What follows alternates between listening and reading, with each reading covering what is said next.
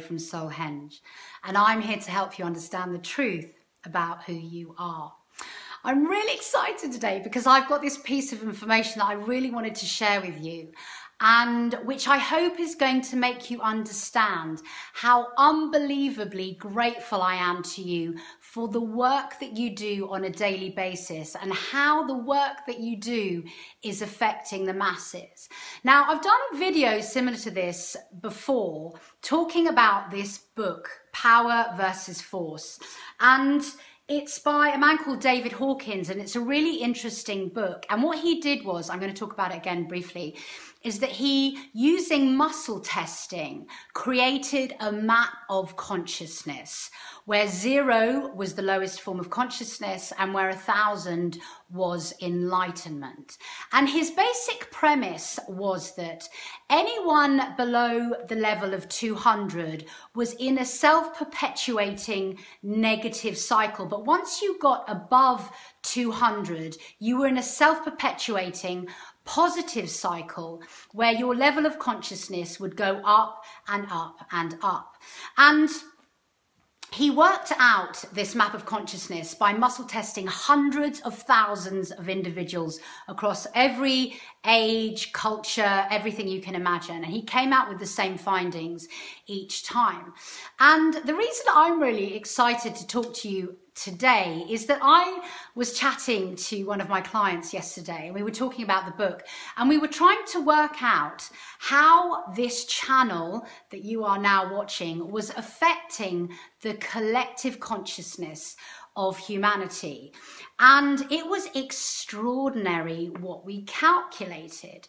So basically, what David Hawkins said was that if your consciousness is above the level of 200, so in other words, if you are doing this spiritual work, this awakening, this clearing yourself, coming into higher awareness of who you are and ascending in your awareness, connecting to the source field, all the meditating, the stuff that we do, then what happens is just by doing your own inner work, just by changing yourself, you elevate your vibration and in that elevate the vibration of the collective consciousness. You don't need to speak to other people. You don't need to do anything with other people. You are affecting change.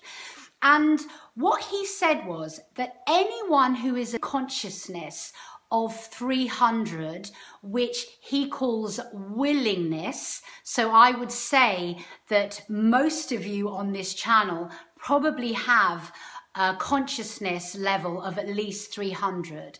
Affect change in 90,000 people. So what you do is your level of 300 consciousness counterbalances every 90,000 people below the consciousness level of 200. Okay, now there are 5,000 people on this channel, and this is the thing that's really exciting me. And the reason this conversation started is because the person I was talking to said how deeply the channel had affected them. And what I'm finding is it's a very heart centered, heart based community of beautiful souls. And more and more, we are all being affected by the work on this channel. I'm being affected by making the videos.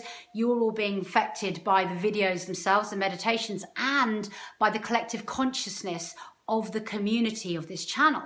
But if 5,000 of you on this channel are at the consciousness level of 300, you are counterbalancing 450 million people in the collective consciousness of humanity.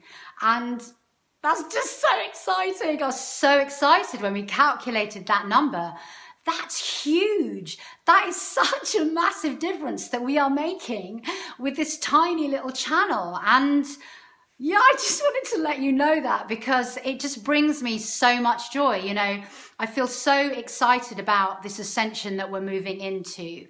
And I know that when each and every one of us step into love, when we step into our joy, when we step into this self work and self actualization, we are affecting the whole. So, yes, I just wanted to say thank you and let you know how many people we are counterbalancing in the world who are at a lower level of consciousness. We are helping to pull up the collective consciousness of humanity so that we can all ascend into the fifth dimension together. So I hope that information is as exciting to you as it was to me.